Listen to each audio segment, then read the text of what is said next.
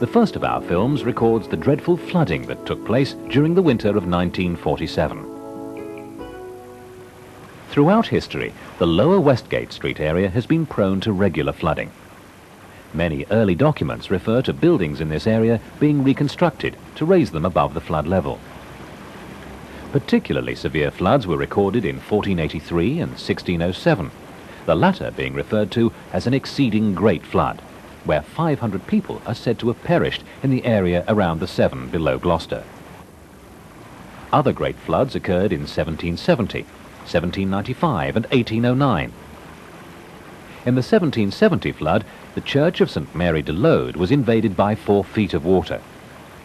The causeway to the west of the city was covered by eight feet of water, and the Bristol Road to the south of Gloucester was blocked by water and prevented coaches leaving the city.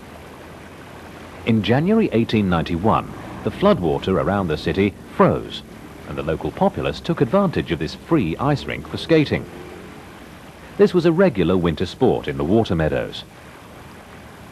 Following the heavy snows in the winter of 1947, 25 degrees of frost was recorded on the 21st of February.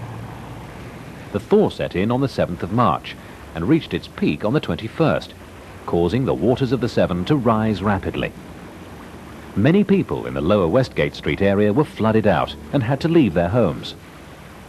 Over this period, the local authority provided over 20,000 hot meals for those affected by the severe weather.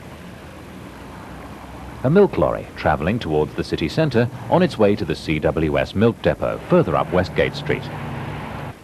The people trying to avoid being soaked by passing traffic shelter by Woodcock Cycle Shop, situated by the junction with Archdeacon Street. Westgate Street, looking east towards the city centre, with the 15th century tower of the Norman St Nicholas Church. The nave floor of the church is some three feet below ground level, and at the height of the flood it was inundated. Appropriate, perhaps, as St Nicholas is the patron saint of sailors. The canoeist makes for the safety of the doorway of the Duke of Sussex public house.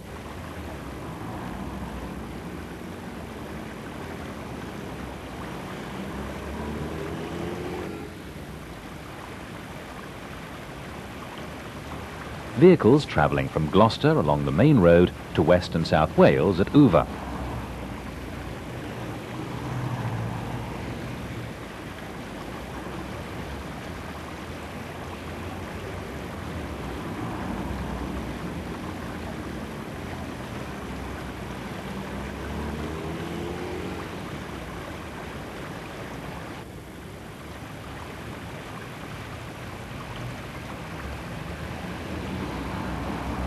The camera pans across flooded fields to the South Wales railway line, with the flooded Alney Island beyond.